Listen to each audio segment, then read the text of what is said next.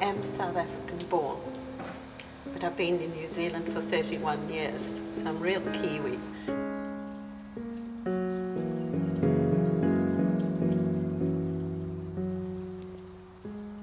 Well, when I first started dancing, I started when I was five, and I started at the Royal Academy of Dance.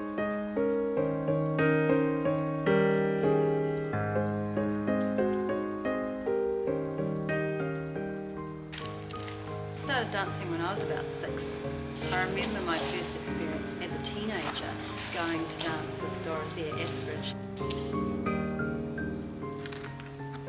One person I had a special feeling towards was Sir Frederick Ashton. He used to ask me to sort of do things and then I would do something and he'd sort of make something wonderful out of the movement. But he had this special three steps that he had to have in his in every ballet that he choreographed. He it's a superstitious thing, you know, that if we didn't if he didn't have that in his ballet, it wouldn't be a success. I was ballet mistress to Limbs for 12 years. The most wonderful years of my life. I have one naughty story to tell about Limbs, just one. They were just so wonderful to work with. The respect was unbelievable.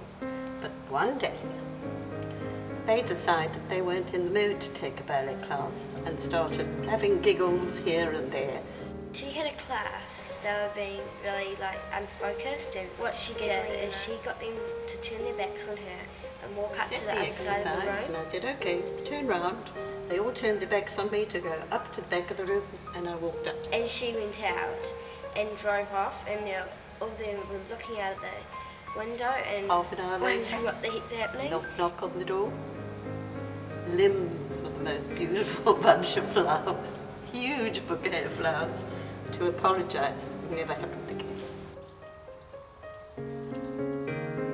I remember going there and feeling incredibly um, frightened, and here's this woman walking around with a cigarette in her mouth. I'm sure she had a stick. I don't know. She can't remember, and now I'm, I might have made that up. But um, and the, ash used to just build up on cigarette, and then finally it would just eventually drop.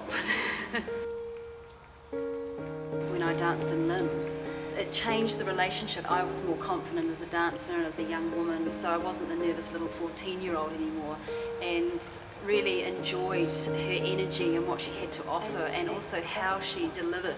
Just her elegance and the way she delivered the movement, just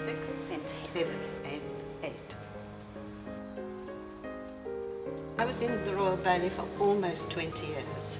After the war, clothing was very difficult to come by because we had to sort of look like beautiful ballerinas. All the fashion houses came to the fore and gave us cocktail outfits, outfits to arriving with hats and umbrellas and hankies and stockings and all the gear. The boys were very jealous because they didn't get anything. We got all those fantastic things.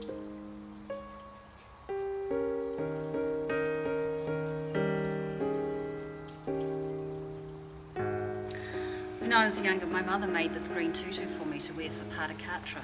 And Katra is a ballet. You learn these different solos, and that was one of them. It required a long romantic tutu.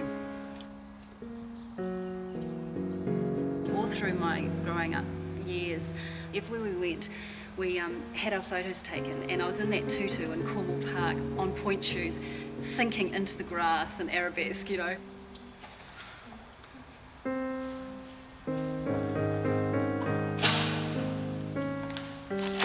Exciting thing for me about the company is um, the idea that anything's possible. really fun because there's all different people and it was, it was more contemporary than ballet and we just improvised the whole time. Anyone can dance, any age can dance, and just really um, extending the boundaries of people's perceptions of what dance is and who can do it, just going for it.